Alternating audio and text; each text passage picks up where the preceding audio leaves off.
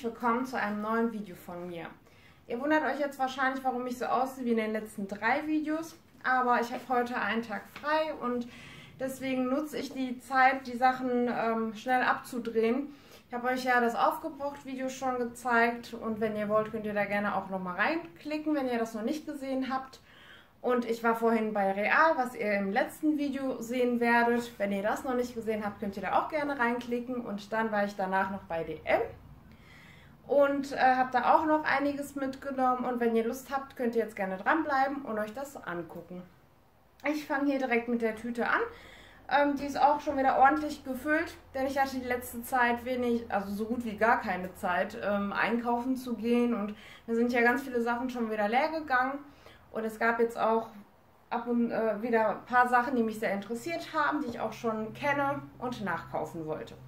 Ich fange hier erstmal mit der Sache an, die daneben liegt. Das ist von Soft und Sicher das Toilettenpapier in dieser Frühlingsedition. Das kennt ihr schon von mir, das kaufe ich, glaube ich, die letzten zwei oder drei Monate regelmäßig nach. Das kam einmal mit. Dann habe ich hier von Denk mit gibt es wieder diese LEs, diese Sommer-LEs in Shining Water Lily mitgenommen, die Allzwecktücher. Ähm, die hatte ich letztes Jahr auch schon, fand die wirklich super gut. Die sind von der Wirkung genauso wie die anderen, aber die Düfte sind halt sehr, sehr schön. Da habe ich das einmal mitgenommen und da kommen auch noch welche danach, aber das ist jetzt alles unten, deswegen mache ich jetzt einfach hier weiter mit den Ebelin 50 Maxi Wattepads. Die habe ich ja jetzt leer gemacht, habt ihr ja gesehen in meinem letzten Video. Und die habe ich auch wieder nachgekauft. Da finde ich ganz schön, die fusseln zwar etwas, aber die sind vor allem weich. Und ich finde für das Gesicht, weil ich ein relativ empfindliches Gesicht oder eine empfindliche Haut habe, finde ich die wirklich sehr gut und kaufe die immer wieder nach. Und auch ähm, Wattepads die 140 Stück, die kleinen von Evelyn habe ich mitgenommen. Da habe ich aktuell andere noch in Verwendung, aber da werde ich euch was äh, in meinem nächsten Aufgebraucht-Video zu sagen. Dann habe ich hier noch Kerzen mitgenommen. Ich habe nämlich unter anderem auch für diesen, für diesen Behälter größere Kerzen mitgenommen, weil die ja sonst auch so schnell abbrennen und dann auch verlaufen.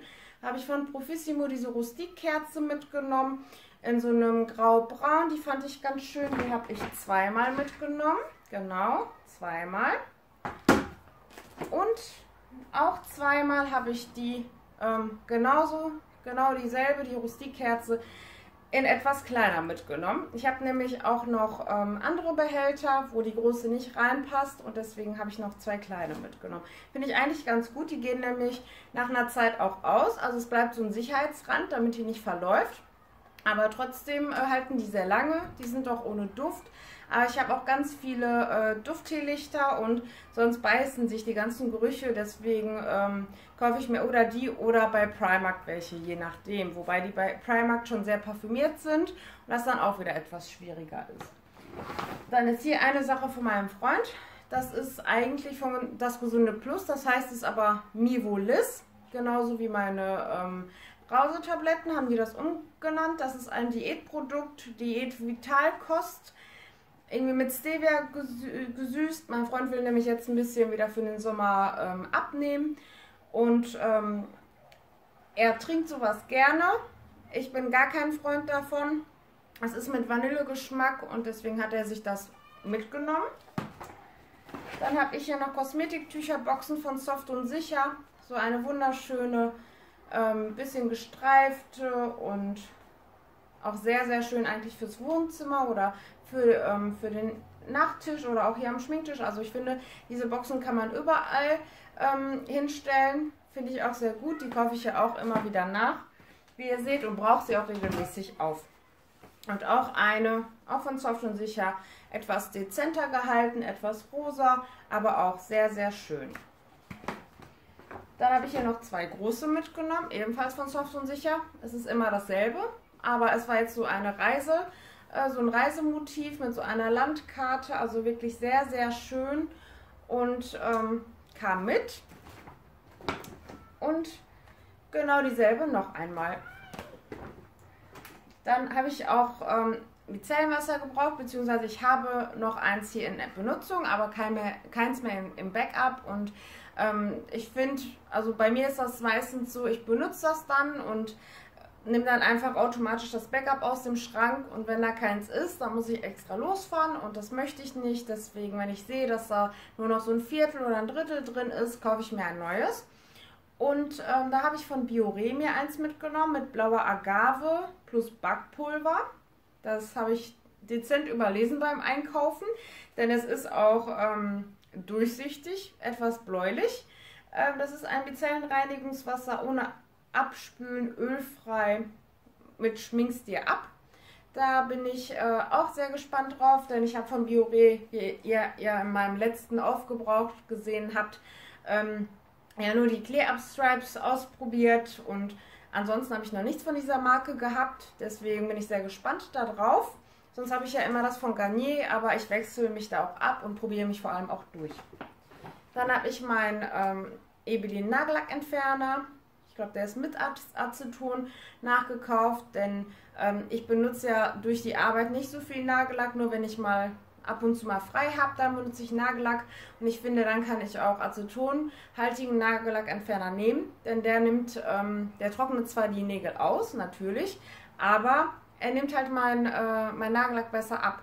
Und bevor ich da dann die doppelte Zeit brauche, um alles abzumachen, kaufe ich lieber den, mache das schneller ab, creme mir die Hände richtig ein, versorge meine Nägel mit Öl und dann ist es auch bei mir eigentlich ganz gut.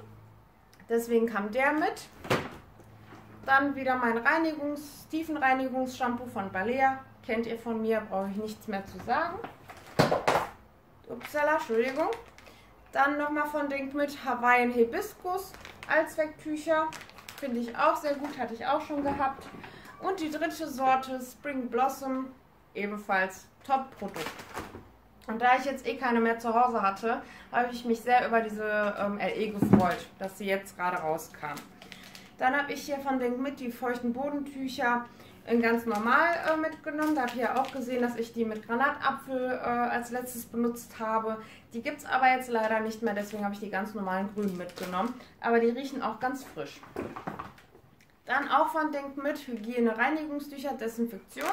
Die benutze ich dann, um über die Toilette zu gehen, also über Bereiche, wo ich jetzt nicht unbedingt einen Lappen nehmen möchte, den dann auswaschen möchte oder in die, in die äh, Waschmaschine packen möchte. Da nehme ich einfach so ein Tuch, wisch drüber und dann ist alles sauber und ich fühle mich dann auch sicherer mit den 99,9% ähm, der Bakterienbeseitigung. Das finde ich wirklich sehr gut und so viel von den Tüchern benutze ich jetzt auch nicht eigentlich so gut wie nur für die Toilette. Deswegen reichen die auch sehr, sehr lange aus. Dann habe ich hier eine Sache ein bisschen platt gemacht, aber die kann man wieder gut zusammenbauen. Äh, von Balea die Q10 Antifalten Augencreme habe ich mir mitgenommen. Natürlich bin ich noch nicht so alt, aber das Problem ist, ich leide sehr an trockenen Augen, vor allem hier oben auf dem Lid und auch unter dem Auge. Und ähm, was dann auch vor allem wenn man sich abschminkt, anfängt zu brennen oder wenn man sein Gesicht mit Waschgel reinigt, man natürlich auch reibt. Und deswegen habe ich mir die Q10 Augencreme mitgenommen, weil die einfach reichhaltiger ist. Also sonst gucke ich da nicht so nach Anti-Age und Q10. Nur ich habe mich, äh, ich habe einige Zeit stand ich an der Theke bei DM oder am Regal, habe mir die Sachen durchgeguckt und es hat mir, mich eigentlich nichts angesprochen, außer dann Sachen, die mal eben so bei 15 bis 20 Euro waren. Und ich finde, das lohnt sich bei einer Augencreme ehrlich gesagt nicht so wirklich. Beziehungsweise ich hatte von Klinik mal eine gehabt, die hat sich gelohnt.